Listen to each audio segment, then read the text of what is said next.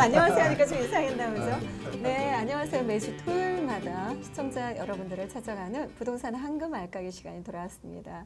부동산 황금 알까기 시간에는 우리 시청자분들이 주요 이슈를 다루거나 정말 부동산 시장에 있어서 궁금한 점들을 낱낱이 파헤치는 시간이 됩니다.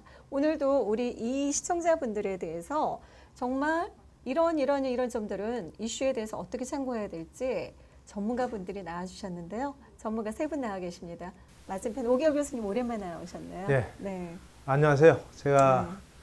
그 1학기 동안 학교가 좀 바빠갖고 네네. 너무 안타깝게도 좀 못 와서 좀 섭섭했는데 네. 다시 이렇게 반가운 얼굴들 만나서 너무 반갑습니다. 저도 반갑습니다. 네. 반갑습니다. 네. 아 뭐였죠 닉네임이?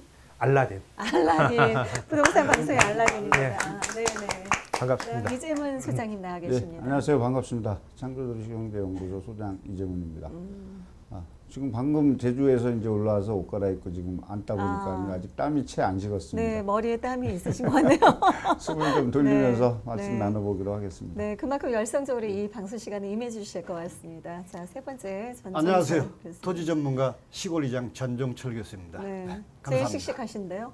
아, 토지 토지의 흙을 아주 냄새를 맡고 시원한 기운을 받았는지 제일 시원하신 것 같습니다. 네, 오늘도 이렇게 해서 시작을 하겠는데 방송을 보시다가 궁금하시다면 전화번호 열려 있습니다. 02-316-0000 전화 주시기 바랍니다. 자, 이번에 주거복지 로드맵이 좀 나왔다고 그렇게 들었어요. 그래서 지난달에 이어- 이어서 오늘이죠. 7월 17일, 아, 오늘이 아니네요. 7월 17일 날 발표가 되었다고 하는데 이 부분에 있어서 뭐 그 국토부와 또 제7기 민선이라고 그러죠. 예, 그래서 시작을 하는데 긍정적인 검토를 하겠다. 그래서 서로 협의가 잘 된 걸로 알고 있습니다. 그래서 어, 신호원 희망타운 주거복지부 로드맵 말고도 구체적으로 뭐 주거라든가 교통 부분까지도 타협점이 잘 이루어졌다고 들었어요. 그러나 우리가 이제 부동산인 것만큼 오늘은 어, 포커스를 어, 신혼희망타운에 과연 신혼부부들의 희망이 있을까?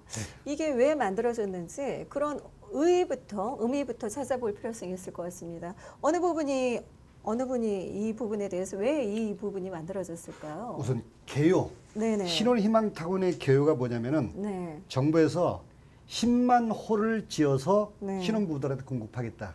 예. 이런 얘기거든요. 네. 그래서 이제 올해 내에 10만 호에 대한 전체 부지를 다 확정해서 발표하겠다.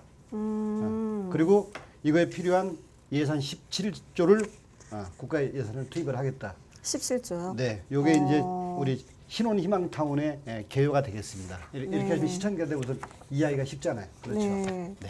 그러면 신혼 희망 타운에 지금 보면은 네. 어, 청년 주택 뭐 이런 부분들은 조금 많이 사라진 그런 부분이 있나요? 신혼희망 타운에 포커스를 맞춘 이유가 있나요, 혹시?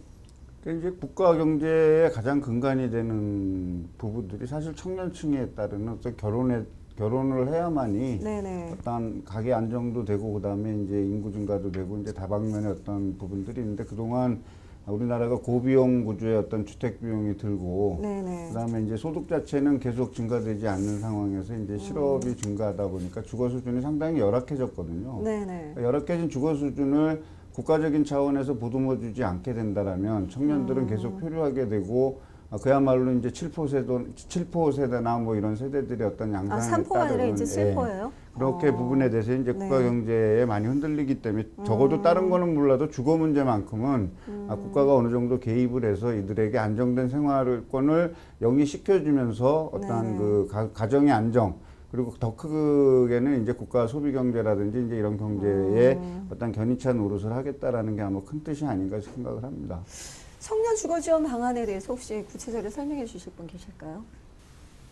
지금 이제 거기 청년 주거 주거 지원 이전에 네. 하나 더 그 강조를 더 한다면 이번에 그 신혼 부부들에 대한 내용 중에는 네.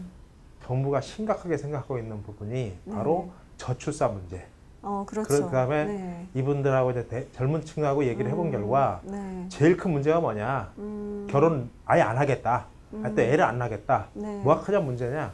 바로 주거 부분에 대한 부담이 너무 크다. 네. 그래서 네. 집도 없는데 무슨 애를 낳고 키우냐 뭐 이런 어. 얘기들이 있기 때문에 네네. 거기에 대한 이제 지원이 더 크게는 우리는 오늘 축소해서 10만 가구에 대한 걸 보지만 88만 가구에 대한 음. 지원이 있다라는 것부터 크게 보셔야 되고 네네. 그 지원에는 이번에 확대한 금융 지원도 음. 상당히 있다라는 것도 이제 알아야 되기 때문에 네. 그 우리는 이제 그 중에 특화시켜서 오늘 좀 얘기를 하겠지만 시간상 네네. 어, 나중에 자료를 본다곤 하면 음. 큰 그림은 일단 그쪽에 88만 곳까지 네. 특히 거기에 어, 청년 쪽하고 연결 좀 한다면 네. 청년 가구 주 같은 경우에는 또 1인 가구라든가 음. 젊은 층들의 어, 지금 뭐 애들이 우리나라가 굉장히 실업률이 OECD보다 높아요. 네네. 특히 음. 어, 공부를 하, 지 않거나 이런 층까지 한다면 뭐 상상을 음. 초월하게 높기 때문에 이런 친구들에게 제일 큰 문제점은 역시 마찬가지로 주거 부분에 대한 주거비 부분이거든요. 음. 그래서 그 부분에 대한 또 지원 역시 100만 가구에 대한 어떤 그런 음. 큰 포션을 가지고서 이번에 그 두 개의 맥락으로 즉 신혼부부와 청년 주거 이 부분에 대한 게 이번에 큰 틀 중에 하나라는 정부의 하나 계획이죠. 무엇보다도 제 생각으로는 이런 게 이제 지원이 될 때 과연 이제 기존에는 임대 아파트로 많이들 지원이 됐잖아요. 그런데 이 부분은 그 어, 신혼부부 부부는 분양으로 가잖아요.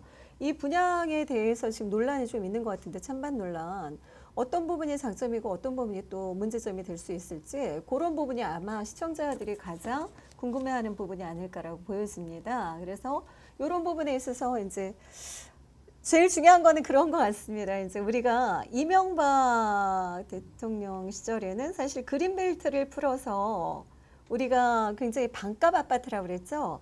그, 네, 그 아파트들이 지금 굉장히 많이 올랐어요. 무려 일곱 배까지 오른 것도 있거든요. 근데 기존에 임대 아파트라면 그렇게 큰 관심을 안 가졌고 뭐 일일비 할 필요가 없었는데 이 신혼희망 타운에 대해서는 지금 분양이라는 아파트잖아요. 그러니까 분양 아파트이기 때문에 그만큼 저렴하게 줄 거라는 희망감과 더불어서 이게 분명히 받으면 뭐 로또라는 얘기도 있는 것 같습니다. 그래서 그 부분이 왜 로또가 될 건지와 그 이거는 아파트가 어디에 질 건지 이런 부분들도 구체적으로 조금 나열해 주시면 더 좋겠다는 생각이 듭니다. 좀 정리해 드리면은 네네. 어차피 짧은 기간 내에 우리가 네. 10만 원 공급하려면은 네네. 우리가 부지 조성을 하면은 약 우리 평수로 그냥 음. 옛날 평수로는 400만 평에서 500만 평 정도의 부지가 필요하거든요. 네네. 그런 부지를 우리가 비싼 주거 지역이나 시내에 있는 땅 사가지고는 그 저렴하게 공급할 수가 없어요. 음. 그래서 정부의 기본 방침이 그린벨트를 해제해서 저요 단지를 조성을 하겠다. 네. 그러면은 기본적으로 토지의 조성 한가가 엄청 싼 거야. 네.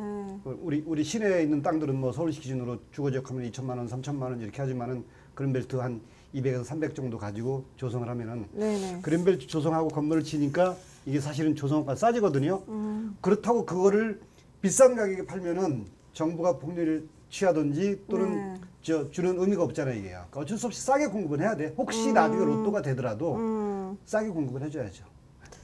근데 그 로또가 되는 네. 거는 이제 어느 정도 저는 견제 장치가 있을 거라고 보거든요. 음. 일단 신혼부부의 정착률을 높이고 네네. 신혼부부가 주거 안정을 일, 일, 된다라는 얘기는 상당히 이제 소득 안정에 도움이 많이 될 거라고 이제 생각을 하거든요. 그러다 보니까 아까 오교 교수님 말씀하셨지만 금융 지원이라든지 이런 분들이 부분이 많이 돼서 자기 부담 30%에 대출 70% 네네. 그리고 그 대출은 한 1.3%의 고정금리를. 최장 네. 30년으로 어. 가는 거예요. 사실 이게 맞는 구조거든요. 원리금 상환 없이 이자만 내나요? 그럼? 아니죠. 원리금 어. 상환이라든지 그거는 선택을 할 수 있지만 어쨌든 네네. 이 주거, 주택을 청년들이 집을 사서 이제 갈 때에는 저리에 어떠한 이자 구조가 만들어져야 되고 그리고 음. 장기적으로 이제 가야지 그걸 단기적으로 갖고 변동금리로 가게 된다 그러면 항상 이자 부담이라든지 이제 음. 그 경기 변동에 따른 어떠한 변화가 있지 않겠습니까? 이제 그런 네. 부분들을 잡아서 외국과 같이 비슷하게 한 최장 30년을 가지게 된다라면 네네. 애초에 이제 약간의 그 주택 가격을 싸게 분양을 받고 네. 이렇게 하기 때문에 이제 상당히 그 가게에 부는 또 부담이 이제 좀 줄어들 수 있다라는 그 음. 특징이 이제 한 가지 있는 것 같고요. 네네. 아, 그다음에 이제 많은 분들이 이제 얘기를 해서 마치 이 신혼 부부들이 주택을 받으면 그게 뭐 로또 로또 해가지고 마치 그 큰 폭의 어떤 음. 실리를 얻는 것처럼 이렇게 자꾸 저는 호도한다라고 보고 있, 거든요. 그거를. 그러니까 결국에 뭐냐면 거기에서 음. 일종의 거주 기간, 의무 거주 기간이 있을 것이고 네네. 그 의무 거주 기간이 들었을 때 지금 같은 같은 경우에는 이제 상당한 시세 차익이 있게 되거나 이제 그렇게 된다 그러면 거의 어떤 세금으로 걷어들이거나 어떤 거기에 음. 규제 장치를 두고 있지 않습니까? 아마 신혼부부 주택도 이제 아마 거의 그렇게 이제 규제가 될 거라고 보기 때문에 그러면 이명박 정권 시절에도 이렇게 이제 그 세곡지구나 지금 내곡지구가 대표적이잖아요. 위례주거까지 이런 적에 전매 제한 기한을 뒀단 말이에요. 전매 제한 기한이 풀린 후부터는 갑자기 금액이 많이 뜨기 시작했어요. 그때는 사람들이 이런 어떤 학습 효과가 없었기 때문에 미분양 아파트도 남아 있었습니다. 저 같은 경우도 미분양 아파트를 산 케이스인데 요런 기존의 사례가 있기 때문에 아 이거는 반값 아파트니까 분명한 건 오를 거다 이렇게 예상을 하는 부분이 저는 맞다고 보여져요. 국제적으로 올해부터 몇 년까지 10만 호가 공급되는지와 또 지역이 어느 지역에 공급되는지 그런 부분을 좀 구체적으로 선정이 필요할 것 지금 같습니다. 지금 그 얘기에 전적으로 동의하는데요. 네, 사실은 로또 아파트라고 하는 게 네, 네. 어, 어, 반은 맞고 반은 틀린 얘기거든요. 음, 무슨 얘기냐면 제가 보더라도 네. 누구한테 얘기하더라도 위례 쪽에서 만약 이게 일어난다면 네네. 로또가 될 거라고 봐요. 네, 근데 뭐 그중에 한 지금 현재 예상 지역 중에 특정 지역을 좀 얘기해서 그렇지만 네, 뭐 지금 대암이라든가 네. 그쪽 같은 경우에는 굉장히 안 좋게 지금 평가를 받고 있거든요. 음. 오히려 잘못하면 지금 분양 폭탄 지역에 또 다른 폭탄을 투여하는 지역도 또 나올 수 있거든요. 네. 현재도 이미 막 음. 미분양이 앞으로 예상되는 지역에다가 만든 지역이다. 그러면 그건 로또가 아니라 이제 폭탄을 안고 들어가는 경우가 네. 되기 때문에 위치가 어디냐에 따르냐에 따라서 그렇죠. 그 굉장히 네. 중요한 예. 내용이 될 거라는 것과 네, 네. 그건 어리 거꾸로 얘기하면 음, 어, 위례나 이런 걸 통해서 이런 게 막 좋으니까 사라 라는 음. 이걸로 호도할 수도 있다라는 점. 네. 그래서 제 생각에는 굉장히 중요한 게 두 가지인데 하나는 타이밍이에요. 네, 네. 지금 현재 이미 집값도 음, 네. 어, 이미 지금 현재 6년 이상째 올르, 오르고 있는 상태에서 네. 이게 또 몇 년 후에까지 계속 지속되느냐 이런 부분도 있는 데다가 우리가 2014년부터 집값이 약간 그럼요. 오르기 시작했죠. 2014 그럼 14, 그때부터니까. 15, 16, 17, 18, 5년간 아니라 5년 4월까지 올랐네요. 3월 말까지. 그럼요. 근데 네네. 지금 이제 향후에도 계속 이런 추세가 뭐 10년, 음. 20년 간다라고 볼 수 없다는 이 타이밍과 네네. 두 번째는 위치 음. 이런 것들이 복합적으로 봐야 되기 때문에 네. 이게 무조건 로또라고는 할 수는 없고 네. 그 중에 로또는 당연히 있을 거라고 봅니다. 그래서 어느 지역이 로또가 될까요? 이렇게 되면. 역시 제일 특 네. 지역은 네. 현재 내용은 이제 네. 위례고 그 다음엔 네. 몇 군데 과천이라든가 남양주 별내 같은 경우도 제가 볼 때는 괜찮지 않을까라고 보여요. 남양주 별내 뭐 네. 과천 네. 다 네. 지금 뭐 언급된 데는 다 괜찮아요. 위례. 네. 그냥 우리가 뭐 전문가 아니도 다 이게 알아. 올해 말에 지금 보급이 되는 건가? 분양이 시작되나요? 올해 말? 위- 위례 신도시 2018년 네. 500가구, 네. 평택 고덕 800가구. 네. 그 다음에 2019년은 수서, 과천, 하남 다 아우, 입지가 좋잖아요. 지역이네요. 그다 6,700가구. 네. 뭐 이렇게 1년에 2원, 2만 원씩 해서 네, 10만 네. 원 공급한다고 그런데 하는데 이렇게 로또가 될 부분이 분명히 이제 제한이 있을 거란 말이에요. 그럼 이런 거에 참, 참여할 수 있는, 청약할 수 있는 조건들이 어떻게 되죠?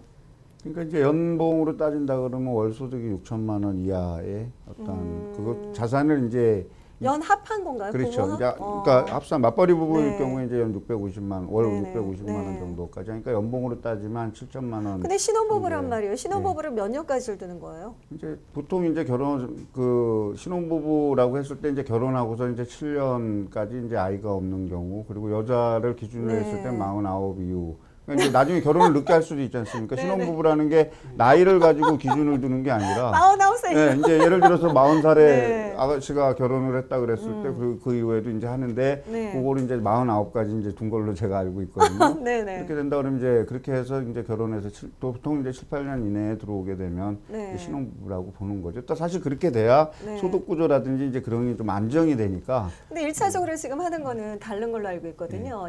예비 신혼부부라든가 2년까지만 네. 그렇죠. 지금 네. 일차적으로 청약할 수 있는 네. 부분이 있는 거죠. 네. 결혼 7년 이내하고 네. 30% 우선 공급. 네. 거기는 결혼 2년 이내. 네네. 일차적으로 하는 데가. 네. 그러면은 이 금- 분양가도 되게 궁금할 것 같아요. 지금 예측한 분양가가 나와 있더라고요. 네. 어느 정도 지금 볼 수 있을까요? 위례 신도시가 전용 55제곱미터가 분양가가 4억 6천만 원이라고 하는데 지금은 55 제곱미터 정도면 한 18평 되나요? 18평 정도 되는 거죠? 그렇죠. 네네. 그 다음에 4억 6천만 원이라고 한다면 현재 시세가 지금 7억으로 나와 있으니까 어떻게 되나요? 3분의 2 정도 가격이 되나요? 벌써 다 당첨되고 나서부터 차익을 2, 3억 본다고 하는데 네. 요즘 같은 경우는 부동산 사면 돈을 못 번다는 생각이 지금 팽배해 있는데 이렇게 벌써 사자마자 2, 3억 번다고 하니까 로또라고 생각할 만하지 않겠어요? 근데 이제 이게 일단 네. 수식에 의한 계산이라는 거죠. 제가 봤을 때는 아까 어. 얘기했지만 이제 부동산이라는 게 타이밍도 있고 시세도 있고 사실 그런데 네. 지금 사실 이 신혼 부부의 어떤 희망 타운들이 들어서는 지역 자체가 네네. 대부분의 대도시 지역의 인근이라든지 자체가 음. 이제 가지고 있는 어떤 폭발력이 있는 어떤 그런 도시를 그러니까 동을 중심으로 해서 지금 만들어지고 있잖아요. 네네. 만들어지고 있는데 시세보다 당연히 약간 낮은 가격으로 공급을 하기 때문에 음. 현 시세하고 대비한다 그러면 당연히 저는 금액 차이가 난다라고 보거든요. 네네. 결국에 지금 이렇게 계산한 거 자체도 네. 그렇게 해서 한 2억에서 정도 나는데 네. 아, 작년에 강남에서 진짜 그 뭐 잠실 5단지라든지 그런 데서 산 분들이 5, 6억 시세 차익을 이상 봤어도 로또라고 얘기를 안 하는데 아, 왜 희망타운이나 이런 걸로만 가졌을 때 뭐 네. 사실 시세하고 가격이 얼마 차이 나지도 않는 부분을 가지고 네. 과거에 보금자리 사례를 들어서 세곡동이라든지 아, 이런 데 보금자리가 내곡동. 돼서 네, 네. 사실 보금자리는 그런 장치가 전혀 없었, 네. 없었잖아요. 없었기 때문에 어떤 그런 부분들의 어떤 제도적 결함을 가지고서 들어오는데 단순하게 현 네. 시세하고 비교해서 저가로 음. 약간 공급한다 이것이 로또다 또 뭐 젊은 청년한테 좀 가서 시세 차익이 좀 나면 어떻습니까? 그래야 젊은 청년들 일단 이 취지가 출산 장려 정책이잖아요. 음. 그러니까 이렇게 싸게 줄 테니까 애를 낳아라 이러는데 과연 이렇게 해주면 신혼부부들이 애를 낳을까요? 그러니까 주거복지조사 결과에 따르면 네. 청년층의 한 80% 이상이 결혼을 하고 싶다라는 의사를 가지고 있고요. 음. 그 결혼을 하고 싶어서 그러면 출산에 대해서 관심이 있느냐라고 얘기했을 때 네. 대다수의 그, 그 대답한 응답한 그 젊은 청년들 입장에서 아기를 네. 낳고 싶다, 낳고 싶다라는 어. 답에 응답을 했다라는 거죠. 그러니까 네네. 지금 우리 한국에 있는 청년들이 결혼을 하고 애를 낳고 싶어 하는 거는 누구나가 다 가지고 있는 음. 관심거리고 자기도 하는데 실질적으로 여건이 따라주지 않는다라는 거죠. 그렇죠. 그 여건 중에 있어서도 예. 아니고 키울 능력을 많이 보는 예, 것 경제력도. 있어야 되고 회사 취직도 해야 되고 네. 하지만은 주거비 부담이 네. 실질적으로 어? 도시 소득에서 연 4천만 원 이하를 번다 그러면 월 아. 300 정도 지금 4천만 원에서 월 400 정도 받는다 하더라도 실수 네. 실수령액은 한 그렇죠. 320 정도밖에 안 되잖아요. 음. 그 중에 예를 들어서 월세를 살거나 뭐를 산다라고 얘기했을 때는 자기 네. 소득의 절반 이상이 반값으로 나가고 이렇게 되는 구조에서는 아. 결혼을 해서 애를 낳고 한다라는 그 자체가 산술로는 나오지 않기 때문에 네네. 자꾸 미루다 보니까는 이제 만 원의 풍조가 만들어지고 아. 그러다 보니까는 이제 지금 뭐 40대가 결혼하는 게 네. 상식처럼 돼버린 그런 시대가 됐는데 네네. 이 구조를 바꿔보자라는 거죠. 어떤 음. 비용이 들, 들더라도 좀 바꿔서 네. 그, 그 청년들이 정착이 돼서 애를 낳고 그래야만이 인구 감소라는 어떤 오명도 벗어날 네네. 것이고 네. 거기에 어떤 포커스가 좀 있다라고 보지 네. 로또 이거는 좀 아닌 것 같아요. 아니 일단 당첨만 되면 저는 좋을 저는 것 거꾸로 같은데. 로또가 될 수 있다고 생각을 네, 합니다. 왜냐하면 어, 이제 그다음에 애를 낳고 안 낳고 네. 문제는 뭐 개인의 역량이라고 생각을 하고 뭐 정부가 애 낳는 것까지 지금 네. 물론 하려고 이렇게는 하고는 아니 굉장히 젊은 분들한테 한번 바람직하다고 물어볼게요. 집을 주면은 애 낳을 겁니까? 어 그렇구나. 낳아야죠. 어 그러면 그러니까 이거 100% 빨리 결혼하시 이것 때문에 결혼할 수도 있는 거네요. 아 그리고 그래요? 저희가 이제 살아온 경험으로는 네. 물론 이 방송을 보고 있는 사람 저보다 훨씬 경험 많은 도 많겠지만 네. 20대 때 2, 3억이 벌리는 것, 또 30대 때 이상이 벌리는 것과 네. 4, 50대 때 이상이 벌리는 그 가치의 크기는 차이가 달라요. 맞아요. 네. 그래서 이거는 로또라고 하는 게 과거에 네. 우리가 복권 같은 경우도 그렇잖아요. 복권 네. 그 금액이 인생을 확 바꿀 정도의 금액이 로또는 물론 굉장히 금액 커졌습니다만 네. 주택 복권이라든가 이런 시절을 생각하면 음. 크지는 않지만 그게 스타트라인이 될 수 있다는 점에서 우리가 복권 복권 했던 거거든요. 네, 네, 네. 그러니까 이 나이대 대비로 계산한다면 네. 굉장히 큰 혜택이 올 수 있는 거고 네. 또 아까 얘기했듯이 입지적으로만 좋다면 뭐 충분히 지금 시세하는 것보다 더 올라갈 있어요. 그 만약에 60제곱미터 왜 다세대 주택을 가진 사람이 예전에는 혜택을 줬어요. 그죠? 아파트 당첨할 때 어, 서민 아파 서민 주택으로 뭐 간, 간주해서 줬는데 이건 어떻게 되죠? 그러니까 이제 저희가 이 서민주택 특히 이제 지금 보면은 네. 평수가 뭐 18평 정도 미만의 55제곱미터 미만으로 네. 저는 주는 이유가 이제 주택 예. 정책으로 놓고 본다라는 필터링을 염두에 두지 않았나 이렇게 생각을 합니다. 음. 사실 우리가 예전에 이제 결혼을 하고 그랬을 때 저희 시대만 해도 뭐 자기 집으로 출발하거나 그런 경우는 거의 없었잖아요. 없었죠. 그럼 이제 주로 이제 전세를 많이 살고 네. 전세를 살다가 이제 아기가 낳고 그러면 조금 이제 넓은 집으로 전세를 가거나 아니면 대출을 받아서 이제 집을 사서 조금씩 평수를 넓혀가는 그런 구조가 있었잖아요. 지금 네. 이제 이, 이 청년 신혼부부들한테 뭐 넓은 평수를 주는 게 아니라 음. 두 식구에서 아기 하나 정도가 거주할 수 있는 그 규모를 주고 네. 어느 정도 이제 그 아이들이 자라고 한- 한 가구에 이제 두 명 자녀가 있게 된다라면 음. 집을 이사해야 된다라는 건 저는 기정 사실로 보거든요. 넓은 네네. 집으로. 그래서 어떠한 그 중장기적으로 놓고 봤을 땐 주택의 필터링을 감안해서 이제 55제곱미터 정도 되면은 뭐 살만하죠. 네, 25평형이라고 볼수 네. 있잖아요. 그렇죠? 네. 그래서 한 40, 신혼부부. 음, 49제곱미터인가 뭐 하나 있던데 그거는 약간 좀 적을지 몰라도 이거는 충분할 거라고 보여져요. 그래서 우리가 관심을 이 신혼희망 타운에 관심을 가질 때 옛날에 이 생각이 들더라고요. 우리가 음, 지금 판교 있잖아요. 판교에 이게 로또다 해갖고 많은 사람들 거기에만 의지하려고 몰려 있었어요. 그래서 몇 년간 집을 안 사고 있다가 판교가 발표가 나고 나서 떨어진 사람들이 한 번에 몰려서 어차피 살 마음이 생겼던 사람들은 아 이거 사야 돼. 안 그러면 조급한 마음이 든단 말이에요. 그래서 이, 이 신혼희망 타운에 몰려있던 수요자들이 만약에 떨어진다면 그 다음 다른 대체 희망지의 아파트에 몰릴 또 가능성도 있지 않을까요? 그러면 뭐 충분히 금액이 예상이 조금- 가능합니다. 그죠? 그렇게 되면 그거에 네. 대해서는 저는 이제 좀 생각을 여러 가지 이제 해야 된다고 생각해요. 왜냐하면 음, 어, 얘기했듯이 이게 저는 아까 반반이라고 표현했는데 음, 또 그중에 굉장히 중요한 게 위치라고 표현했잖아요. 네네. 열두개도 지금 나와 있는데 네. 자료에 위례라든가 이런 지역은 일반적으로 누구에게나 되게 더 고평가를 음, 받고 있기는 맞아요. 네. 근데 저중에서 대부분의 지금 언론에서 얘기하는데 좋다고 하는 데가 평택 음. 고덕도 대부분 음. 좋다고 얘기를 해요. 네네. 근데 지금 이미 네. 작년 하반기부터 평택의 소사벌 지역에 지금 이미 음. 미분양이 많이 나오고 있어요. 어. 그러니까 지금 제가 아산 탕정에 지중마을 만들 때 네. 삼성 LC 단지가 거기 120만 평을 차지하고 들어가면서 음. 주변에 그 젊은 층들이 집이 많이 필요해서 들어간 네. 건 맞아요. 네. 일시적으로 수요가 된 건 맞지만 음, 한꺼번에 또 그 지역에 공급 물량이 엄청 들어가지고 시간이 네. 지난 다음에는 생각보다 또 공실도 많이 터졌거든요. 음. 그러니까 이 평택 고덕이 국조화 네. 지구가 그 안에 여러 가지 산업단지라든가 이런 게 들어가면서 자체 수요가 생기고 그렇죠. 기사 등등의 네. 그런 요인이 있는 건 맞습니다. 맞지만 어, 반드시 그 주변에 평택이란 전체 도시 개발 그런 자체를 본다면 해당 지역이 다 완벽 그 정도로 로또가 나올까라는 생각은 좀 해봐야 되는 면이 있거든요. 그 음, 얘기는 네네.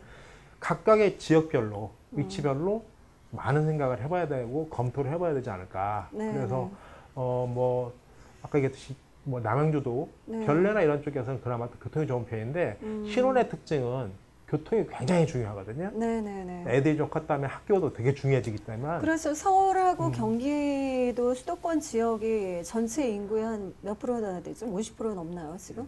예, 그 사람들이 출퇴근하기 위해서 사실은 도시가 굉장히 거대, 거대해졌잖아요. 사람들이 계속 그렇죠. 몰리다 예. 보니까. 그러다 보니까 출퇴근 시간이 90분 이상 걸리는 데도 많고. 예. 그래서 전부 인서울, 인서울 하는 효과가 더욱더 커지는데 이럴 때 정말 주거 위치라든가 이런 게 굉장히 중요, 중요할 거라고 보여져요. 근데 앞으로 GTX나 이런 것들도 많이 이제 뚫리고 정상적으로 운영을 한다고 하는데 제일 중요한 건 일단 예산 문제도 포함되어 있을 것 같아요.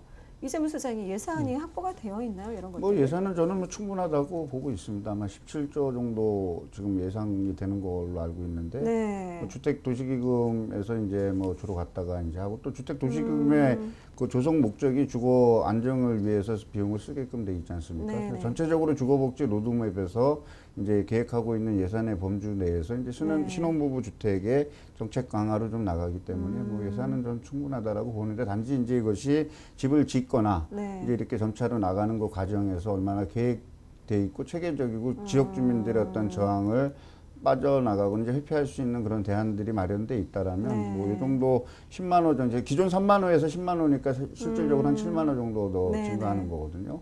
그리고 이제 신혼부부의 대상의 88만 쌍 정도를 음. 대상으로 하면 아, 44만 명 정도죠. 이제 한 음. 부부를 한 팀으로 놓고 본다라면 그 44만 가구 중에 이제 아, 10만 가구 정도니까 4대 1 정도, 4.4대 1 네네. 정도의 기준이 되기 때문에 거기에 분명히 낙천자도 있을 것이고 네. 그렇게 나가는데 이제 그런 부분들을 이제 조정하면서 나가는데 이제 제가 조금 더 팁을 가지고 있다라면 이제 지금 사- 점차로 이제 서울 지역 일부를 제외하고서 미분양이 점점 증가하는 그런 상황이 있거든요. 음. 그리고 미분양 집중 관리 대상 지역이라든지 이런 데에서는 사실 미분양난 주택들이 건설업체 파산이라든지 그런 거를 막기 위해서 상당히 네. 저렴한 가격으로 정부에서 매입할 수 있다라면 음. 모든 건설만이 능사는 저는 아니라고 그렇죠. 보고요. 그런 대체 거를 예, 해서 있을 한다라면 필요하죠. 기존 어. 주민들과 신혼부부들이 어울릴 수 있는 네. 어, 어떤 그런 사회적 네트워크가 근데 사실. 미분양이 작은 게 남아 있느냐도 문제예요. 거의 큰 것들을 많이 지금 대부분 김포 한강 신도시나 이런 데는 대형 평형. 위주로 남죠. 그렇죠. 근데 이제 최근에는 네. 네. 대형 평형을 안 짓고 이제 86제곱미터 미만으로 많이 짓고 그 86제곱미터 미만의 어떤 주택들의 미분양이 좀 누적되는 그런 경향이 음. 있거든요. 오히려 이제 아예 대형은 이제 좀 기존에 가지고 있었던 미분양이 아니라면 네. 약간 이제 좀 많이 규모가 줄어들었죠. 어. 이제 건설되는 양이. 네. 근데 이제 중대형, 중, 중소형 위주로 이제 많이 짓고 이제 그런 부분들이 이제 건국가행 현상이 생기면서 이제 많이 음. 누적이 되기 때문에 쉽게 얘기해서 이제 뭐 18평에서 사느냐, 그러니까 전용 그렇죠. 18평에서 사느냐, 25평에서 음. 사느냐 이제 어떤 그런 문제인데 네. 조금 더 경제력이 있고 위치가 떨어진다면 가격에서 세이브가 되니까 음. 이제 그렇게 해서 만약에 기금으로 매입을 했다라고 얘기한다라면 이제 그런 것들을 간다라면 건설 기간도 줄어들 것이고 상당히 그 미분양도 구제를 받기 때문에 음. 네. 경제 활성화에 상당히 도움이 될 거라고 뭐 아마 그런 쪽으로도 충분히 지금 계획을 하고 있을 거라고 저는 생각하고 있습니다. 이게 로또라고 자, 하는데 잠깐 저기 제가 네. 하나 네. 또 우리 방송을 보는 사람들 중에 진짜 신혼이나 이런 분들 또는 아니면 이런 주택을 원하는 투자자도 있을 수 있기 때문에 네. 제가 생각하는 또 중요한 팁 하나만 음. 중간에 얘기하고 넘어갈까 싶어요. 네, 네, 네. 뭐냐면 지금 작년에 이미 우리 정부가 그 수도권 외곽에 대한 철도 네. 계획이라든가 여러 가지 것들 또 GTX라든가 뭐 음, SRT라든가 그렇죠. 많은 네. 계획들 하고 있는데 어 제가 이제 아산에 있을 때 제 경험이기도 하고요. 네. 아산에서 어떤 경험이 있었냐면 KTX로 아산 천안 아산역에서 서울역까지 36분 정도니까 수도권 출퇴근 거리예요. 네네. 시간상으로. 네. 근데 교통요금이 네. 상상을 초월합니다. 어. 그러면 고덕 신도시를 내가 이제 굳이 얘기하는 거는 네네. 어 아까 예상되는 지역 중에 음. 경기권에 있는 지역이기 때문에 얘기를 하는 건데 거기에서 지금 수서까지 시간이 한 16, 7분 정도로 제가 알고 있어요. SRT로. 네네. 네. 근데 왕복 차비가 14,000원이 넘는단 말이에요. 음. 그러면 거기에 사는 출퇴근할 때 매일 만 사, 그렇죠. 그, 그거 근데 거의 오, 수서까지만 이에요. 그래요. 네네. 수서 이상에 가는 또 교통비가 들어가야 되겠죠. 어, 이런 것들을 생각한다면 한 달에 교통비가 교통비 자체만 가지고도 그렇죠. 7, 80만 원 이상이 들어가야 되는데 그걸 과연 그걸 주거비 절약되는데. 네. 교통비를 지- 지금 그만큼 해야 되느냐라는 어. 차원에서 네네. 과연 이 정부가 아까 얘기한 별내도 마찬가지 별내가 지금 또 마찬가지로 지금 현재 계획이 있거든요. 네네. 별내에서 또 대구까지 연결하는 그런 어. 계획이 있지만 그런 교통요금이 네. 과연 쌀 것이냐라든가 음. 기타 등등 이런 걸 계산해 본다면 네. 아까 위치 선정이나 이런 거 할때 음, 철저히 교통비까지도 계산을 해야 향후에 세상에. 만약 옥석이 네. 가라질 거라는 거. 어, 그 정도. 월세를 충당하는 게 낫죠. 차라리, 차라리 인서라고. 올해 말까지 발표한다는 얘기는 네. 지금 내부 선정이 다 돼서 네. 마지막 마무리 작업을 거의 하는 수순이거든요. 어떤 게요? 부지, 장소. 부지. 아, 부지. 음, 그 기본적으로 네. 그린벨트를 해제해서 만드는 단지는 다 나름 음, 입지가 나쁘지 않아요. 그린벨트뿐만이 아니라 지금 유유지들 네. 그런 곳 위주로 지금 선정하는 걸로 알고 있거든요. 이번 네. 그 신혼희망 타운 같은 유지와 경우는. 그린벨트 합쳐서. 아, 그래서 유유지가 좀 있죠. 그래도 서울에.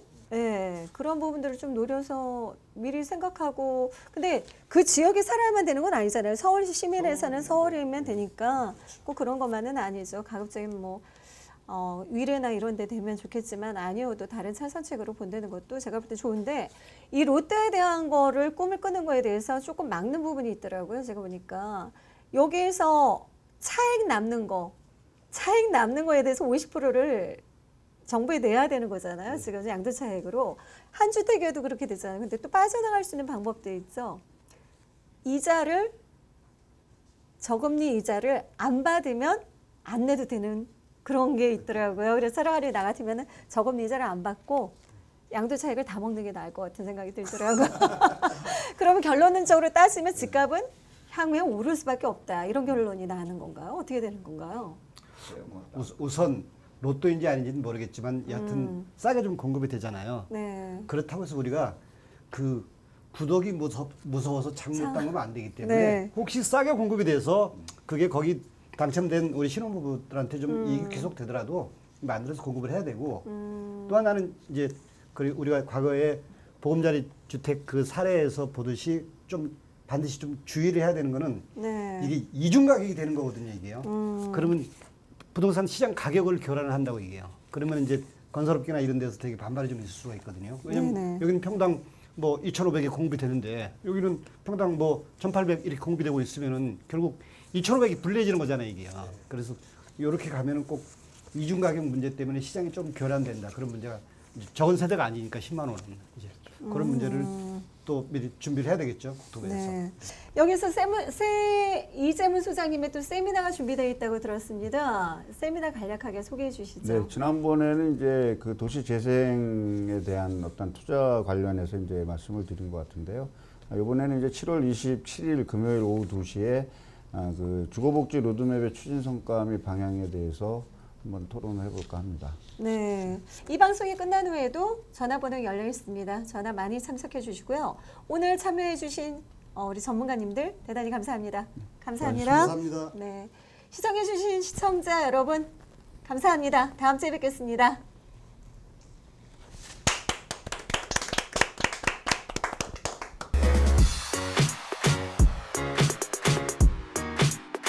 시청자 여러분 안녕하십니까? 자, 부동산 이슈 강의 시간입니다. 오늘은 여러분들께서 임대 사업을 하신다고 했을 때 실제 현장에서 맞닥뜨릴 수 있는 임대차 분쟁 사례들, 세입자하고 일어날 수 있는 갈등의 그 소지가 있는 문제들 하나하나 좀 풀어보도록 하겠습니다. 학교 다닐 때 많이 해보셨죠? OX 퀴즈 형태로 한번 어, 강의를 해보도록 하겠습니다. 자, 본격적으로 시작을 해보면요. 첫 번째 문제입니다. 상가 또는 주택의 임차인이 3개월 이상 차임을 연체하면 임대인은 계약을 해지할 수 있다. O일까요? X일까요? 정답은 X입니다. 일단 상가와 주택 각각 아, 계약을 해지할 수 있는 그 연체 기간이 차이가 있죠. 상가의 경우에는 3개월이고요. 주택의 경우에는 2개월입니다. 이렇게 개월수를 이 기산을 할 때요. 누적 3개월도 마찬가지고요. 그리고 연속해서 3개월이 됐을 때도 마찬가지입니다. 그러니까 누적 3개월이라고 하면은 뭐 1, 2, 3, 4월이 있다고 할 때 1월 달 차임은 뭐 냈는데 2월 달 차임은 내지 않고 다시 3월 달에 내고 그다음에 4월 달에 내지 않고 그다음에 5월에 가서 다시 한번 내지 않고 누적해서 X자가 이제 세 개가 내지 않은 달이 세 개가 되면은 아, 계약을 해지할 수 있다. 이런 뜻이 되겠습니다. 다음 문제로 한번 넘어가 보겠습니다. 그 다음에 임대인의 동의를 받지 않은 전대차는 불법이다. 불법일까요? 불법은 아닙니다. 불법은 아닙니다만 임대인의 동의를 받지 않았을 경우 임대인이 나중에 그 사실을 알게 됐을 때 아, 나중에 들어오게 된 이 전차인을 어, 몰아낼 수가 있는 것이죠. 쉽게 말씀드리면은 그 관계를 말씀드리면 임대인이 있을 것이고요. 그 다음에 임차인이 있을 것입니다. 임차인은 곧 어, 전대인이 되는 것이고 그 다음에 이 전대인으로부터 다시 넘겨받은 전차인이 있겠죠.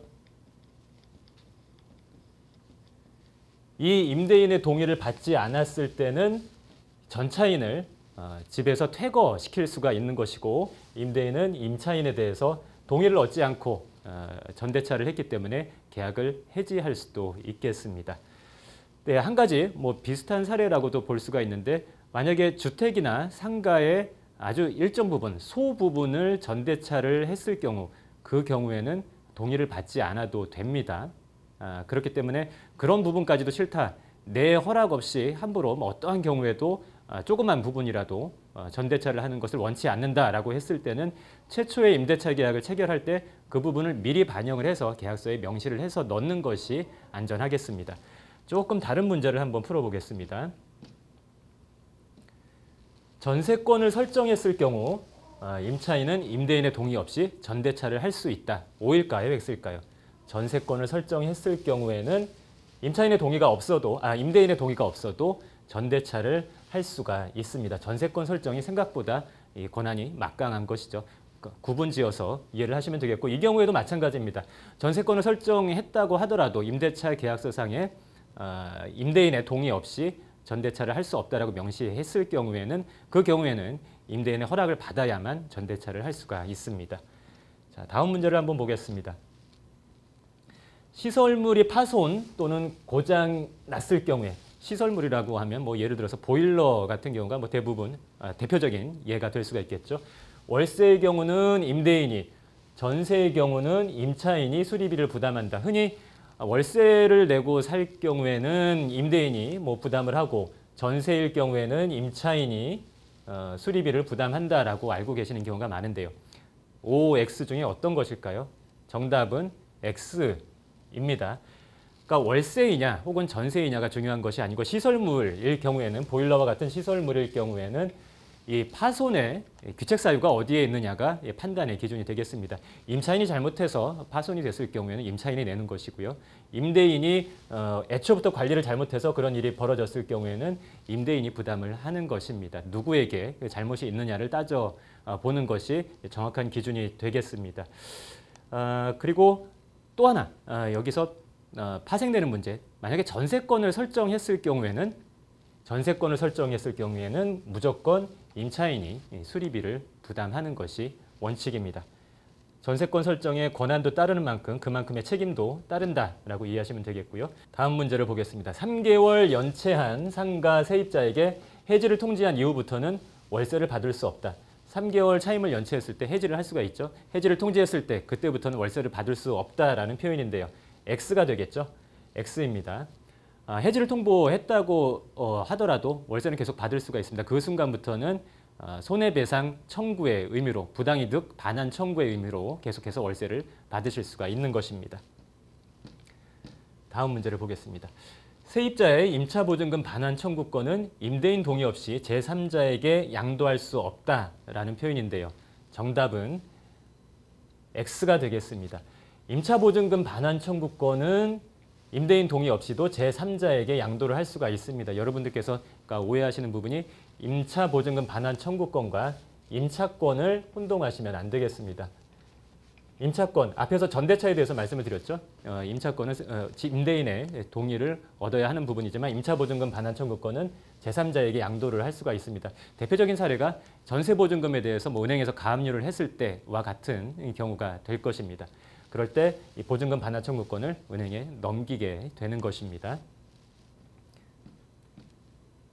자, 또 다른 문제를 보겠습니다. 상가 임대인이 건물의 전부 또는 대부분을 철거하거나 재건축하기 위해서 건축물의 점유를 회복할 필요가 있는 경우 내가 다시 가져와야 하는 경우 임대인은 계약 갱신을 거절할 수 있다라는 표현인데요.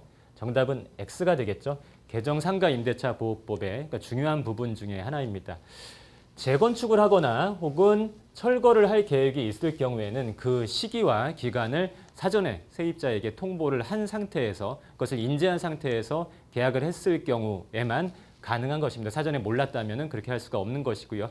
어, 예외적인 상황이라고 한다면 안전진단에 의해서 이 건축물의 위험 혹은 뭐 멸실의 우려가 있다라든지 그런 심각한 상황이라면은 어, 계약갱신을 거절할 수도 있을 것이고요. 다른 법률 도시및 주거환경 정비법에 의한 뭐 재개발의 대상이 됐다라고 했을 경우는 뭐 당연히 계약갱신을 거절할 수가 있겠습니다. 하지만 일반적인 경우에는 반드시 사전에 이 철거라든지 재건축의 시기와 기간을 먼저 통지를 하고 인지를 한 상태에서만 가능하겠습니다. 자, 마지막 문제를 한번 볼까요? 개정 상가 임대차 보호법에 의해서 임대인이 계약 만료 6개월 전부터 만료 시까지 임차인의 권리금 거래를 방해할 경우 손해배상의 대상이 된다. O일까요? X일까요? 정답은 X입니다. 기간을 좀 명확하게 이해하시기 위해서 이해시켜 드리기 위해서 낸 문제인데요. 6개월이 아니고 3개월입니다. 계약 만료 3개월 전부터 어, 그 다음에 만료 시까지 현재 임차인이 내가 권리금을 받고 나가기 위해서 하는 여러 가지 행동들을 임대인은 절대 방해해서는 안 됩니다. 뭐 적극적인 의미로 뭐 내가 도와줄 필요까지는 없겠지만 최소한 방해해서는 안 된다는 것 그것이 어, 상가 임대차 보호법에서 규정하고 내용 어, 있는 내용들이 되겠습니다. 실제 현장에서 일어날 수 있는 그 다양한 그 대표적인 사례들을 좀 풀어서 설명을 드렸는데요.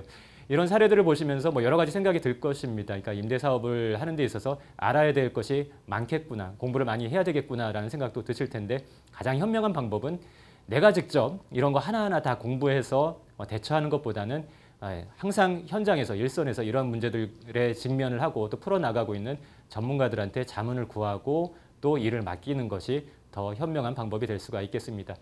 오늘 소개해드린 내용들 제가 지난달 그 공개 세미나에서 많은 분들께 설명을 드리고 있는 내용들입니다. 이런 내용들뿐만 아니라 아, 더 높은 임대 수익을 올리기 위해서 편안하게 임대 수익을 올리기 위해서 어떤 방법들이 필요할지 아낌없이 이렇게 노하우를 전수를 해드리고 있으니까요. 매주 수요일 오후 2시에 세미나를 개최하고 있습니다. 안심 노후를 위한 돈 버는 임대 사업이라는 제목으로 정말 실속 있는 세미나를 개최하고 있으니까 많은 참여를 바라겠습니다. 교대역 1번 출구 부동산 전문가 협회로 참석해 주시기 바라겠습니다.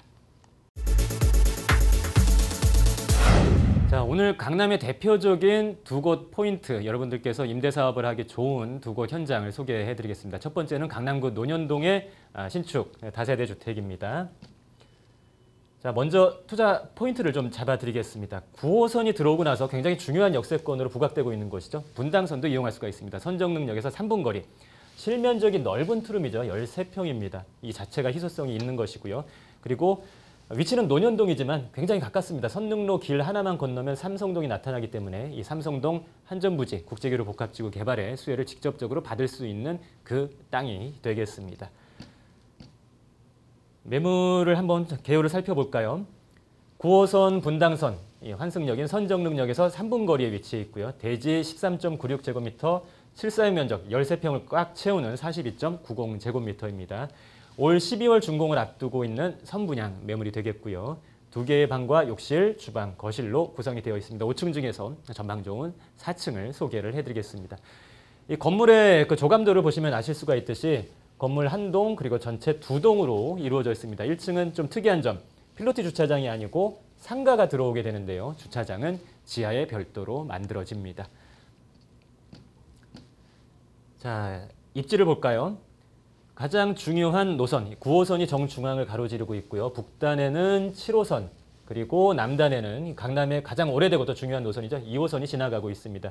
이 모든 노선을 관통하는 분당선이 남북 방향으로 교차하고 있죠. 이 분당선과 9호선을 모두 이용할 수 있는 선정릉역으로부터 3분밖에 걸리지 않는 위치에 있습니다. 동쪽으로 고개 돌려서 보시면 삼성동 국제기로 복합지구 개발지가 나타나고 있죠. 선릉로 길 하나만 건너면 행정구역이 삼성동으로 바뀝니다. 논현동에 위치했지만 길 하나만 건너면 삼성동이기 때문에 이 삼성동에서 일어나고 있는 다양한 개발 호재, 그로 인한 아, 토지 시세 상승의 영향을 직접적으로 받을 수가 있는 것입니다. 주요 시설들을 한번 살펴보겠습니다. 코엑스, 뭐 한눈에 보셔도 아실 수가 있겠죠. 그 다음에 다양한 대기업 사옥들, 그리고 청담동의 명품거리, 상권도 발달한 곳이다라는 뜻이 되겠죠. 관공서도 중요하겠습니다. 임대 수요가 풍부할 수밖에 없는 다양한 시설들이 위치해 있고요. 그리고 공원 또한 중요한 요소입니다. 이 삼릉공원이 있기 때문에 강남의 여타 지역 대비 평균적으로 이 여름에도 무더운 여름에도 1도 정도 온도가 낮고요. 또 여름이 일찍 끝나는 곳 중에 하나입니다. 공원 시설 굉장히 중요한 요소죠. 그리고 자, 이 갖고 있으면 돈이 될 수 있는 그런 요소들을 살펴보겠습니다. 지금 보고 계시는 사진 굉장히 익숙하실 겁니다. 이제 현대차 글로벌 비즈니스 센터가 건립된 이후의 모습. 영동대로 지하공간 통합개발과 같이 맞물려서 개발이 진행이 되고 있습니다. 이 넓은 국제기로 복합지구에서 일어나고 있는 개발이죠. 오늘 소개해드린 논현동 주택이 이 국제기로 복합지구까지 1.3km 밖에 되지 않습니다. 한 발짝이라도 더 가깝게 있으면 있을수록 수혜를 볼 수밖에 없는 것이겠죠. 그만큼 직접적인 수혜지가 되는 것입니다. 자, 그리고 벌써 그러한 영향이 논현동 가까이까지 계속해서 밀려들고 있습니다. 보시는 것처럼 선정능력, 강남구청역을 중심으로 해서 이 빨간색으로 표시를 해드린 부분, 지구 단위 계획이 진행이 되고 있습니다. 주상복합타운을 건설하면서 과거의 이종 일반 주거지를 삼종 일반 주거지로 대거 종상향시키는 지구 단위 계획이 진행되고 있다는 것이죠. 땅값을 상승시킬 수밖에 없는 다양한 개발들이 삼성동에서부터 시작해서 이 논현동 쪽으로 밀려오고 있다는 점 주목해서 보셔야 되겠습니다. 자, 가장 좋은 방법은 뭐 좀 일찍이 삼성동에 있는 부동산을 무언가 사두셨으면 가장 좋았을 것입니다. 하지만 그렇지 못하셨다면 뭐 삼성동만 바라보고 계실 필요는 없겠습니다. 삼성동의 시세를 한번 보실까요? 아, 실제 사례인데요. 국토교통부 실거래가를 보시면 1986년도입니다. 86년도에 지어진 건물이고 지하 1층이네요. 전용 면적이 48.89제곱미터, 한 뭐 15평 정도 되겠죠. 그렇게 넓지 않은 구 빌라임에도 불구하고 가격이 어, 8억 500이라는 굉장히 높은 가격에 지난 아, 작년도 하반기에 체결이 됐습니다. 가격이 높을 수밖에 없는 게 대지가 좀 큽니다. 거의 한 13평, 14평 정도 됩니다. 환산을 해보시면은 토지 한 평당 6천만 원 정도 된다는 뜻이 되겠습니다. 이 주거지의 토지 한 평당 거래가가 6천만 원. 근데 사실은 6천만 원을 줘도 거래하기가 쉽지 않은 곳입니다. 이렇게 삼성동에서부터 시작되는 토지 시세 상승이 논현동으로 계속해서 확장이 되어 가고 있다라는 점. 지금 시점에서는 이미 많이 올라 버렸고 그리고 매물조차 구하기 힘든 삼성동만 바라볼 것이 아니고 이 확장되고 있는 논현동을 좀 집중해서 보셔야 된다라는 뜻이 되겠습니다. 아, 매물의 그 지어진 후의 모습을 한번 예측을 해 보겠습니다. 한 동 그리고 아, 두 동으로 이루어진 그 조감도의 모습이고요. 실제 공사를 완료한 다른 지역에 있는 동일한 시공사가 지어놓은 현장의 모습이 되겠습니다. 굉장히 탄탄하게 잘 지어놓은 모습이 되겠고 내부의 모습입니다. 아, 거실과 그리고 방, 뭐 심플하면서도 굉장히 모던하게 또 견고하게 잘 만들어 놓고 있습니다. 주방과 화장실의 모습도 한번 보시겠고요. 가격을 한번 살펴보겠습니다. 실투자금이 전세 투자 시 약 6,500만 원입니다. 매매가가 3억 9,600만 원이고 전세 평균가액이 3억 3,100만 원. 내 돈 실투자금은 한 6,500만 원 정도 예상하시면 되겠는데요. 이 투룸의 실면적이 13평이다라고 말씀을 드렸습니다. 굉장히 넓은 투룸이고 또 설명드렸던 것처럼 삼성동의 영향으로 땅값이 굉장히 비싼 곳입니다. 그 점을 감안했을 때 굉장히 합리적인 가격이다. 실투자 금액은 6,500만 원이다라는 점, 이 점에 주목을 하셔야 되겠습니다. 월세도 많이 받을 수가 있겠습니다. 2천에 130만 원을 예상하고 있는데요. 과거에 정말 뭐 몇 년 전만 해도 운 좋으면 강남 투룸 뭐 2천만 원에도 갭 투자를 할 수가 있었죠. 하지만 이제는 불가능한 일이 되어버렸습니다. 매매가가 계속 올라가면서 실투자 금액이 5천만 원, 6천만 원, 7천만 원 이렇게 상승하고 있다는 것이죠.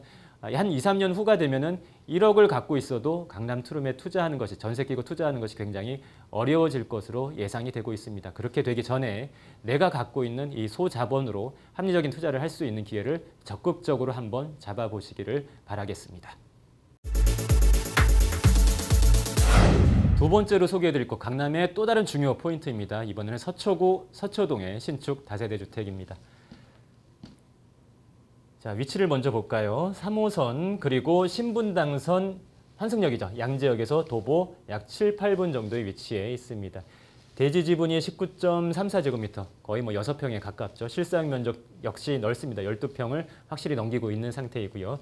2018년 12월 올해 말 뭐 준공을 앞두고 있는 열심히 지금 공사를 하고 있는 현장입니다.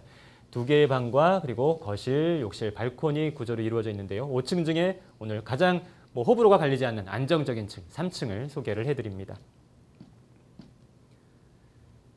투자 포인트를 먼저 잡아드리자면 강남에서 임대 사업을 하기에 그 임대 사업자들이 모두 가져갈 수 있는 혜택들, 아, 각종 세금 혜택을 누릴 수 있는 소형 주택이다라는 것, 그 기준을 충족하는 소형 주택이다라는 것, 또 강남대로에 포진해 있는 직장인 임대 수요가 풍부하기 때문에 공실 걱정을 하실 필요가 없다라는 점, 대지 지분이 넓죠.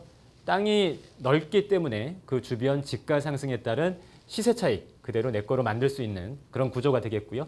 주변에는 양재역 GTX 개통과 그리고 경부고속도로 지하 사업을 비롯한 다양한 개발 계획들이 시작하는 단계에서 활발하게 움직이고 있다라는 점 주목하셔야 되겠습니다. 자, 일단 강남대로의 모습을 보겠습니다. 강남대로에 들어선 이 대기업 사옥들, 빌딩들의 모습입니다. 이곳에 근무하는 아, 회사원들이 바로 내 세입자가 될 수 있는 그런 위치, 양재역 역세권이 되는 것입니다. 지도를 통해서 볼까요? 이 양재역에서 약 7, 8분 거리에 있고요. 어, 가장 눈에 띄는 것이 바로 이 무지개 아파트, 무지개 아파트 사거리 쪽이 되는 것이겠죠. 재건축이 들어가고 있습니다. 그 서초 우성 레미안도 마찬가지가 되겠죠. 주변에 대규모의 재건축이 진행이 되면서 주거 환경이 계속해서 좋아지고 또 토지 시세가 상승하고 있는 것입니다.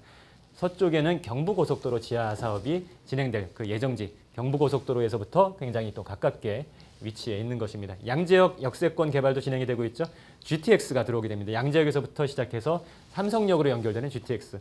서쪽과 동쪽 그리고 북쪽 뭐 아파트 재건축까지 주변이 개발 압력으로 둘러싸여 있는 곳입니다. 그만큼의 시세 차익을 기대하실 수가 있겠고요. 하나하나 뜯어서 볼까요? 양재역과 삼성역을 한 정거장으로 바로 연결시켜주는 GTX C 노선입니다. 전체 GTX 노선 중에서도 사업성이 굉장히 높은 노선 중에 하나인 것입니다.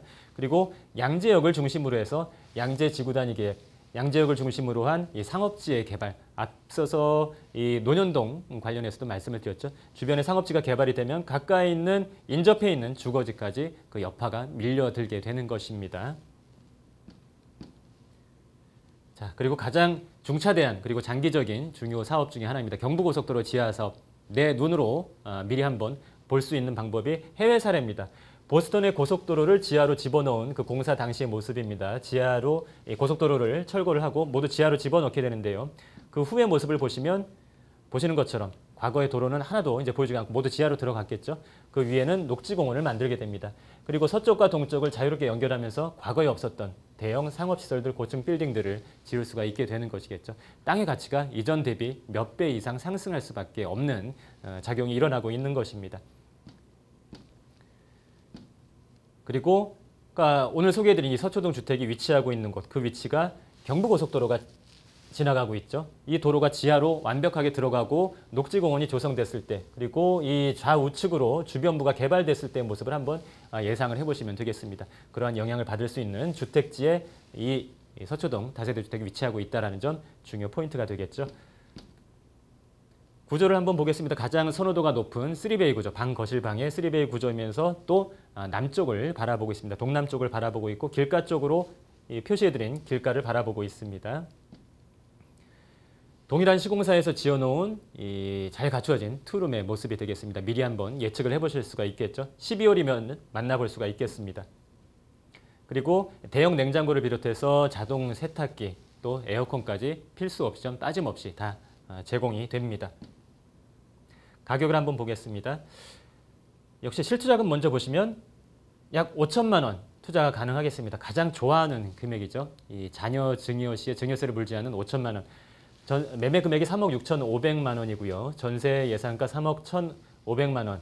아, 평균적으로 5천만 원 내외로 충분히 투자를 하실 수가 있겠습니다. 월세도 3천에 아, 120에서 125만 원 정도가 예상이 되기 때문에 대출금 이용하셨을 때 1억 2천5백만 원 정도 수준으로 월세 투자도 가능하겠습니다. 누누이 말씀드리지만 이 강남 투룸에 1억 아래에서 투자할 수 있는 기회가 그렇게 오래 가지 않을 것으로 예상이 되고 있습니다. 내 소자본으로 효율적인 투자를 할 수 있을 때 강남에 임대 사업을 할 수 있을 때 그 기회를 잡아보시기 바라겠습니다.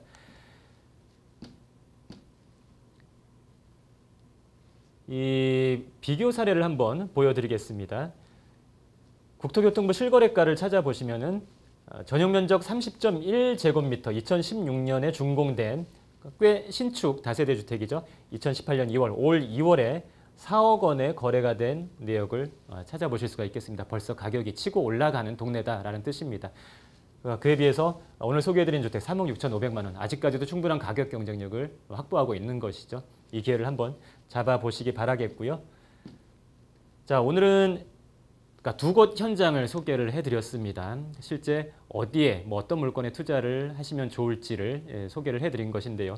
세미나에 오시게 되면은 음, 어떻게 어떤 방식으로 투자를 하면 되는지 그 방법에 대한 예, 설명을 드리게 될 것입니다. 매주 수요일 오후 2시 안심 노후를 위한 돈 버는 임대 사업이라는 주제로 아, 여러분들께 다양한 노하우를 전수해 드릴 수 있는 공개 세미나를 개최하고 있습니다. 교대역 1번 출구에 있는 이 부동산 전문가 협회로 세미나에 참석해 주시기 바라겠습니다.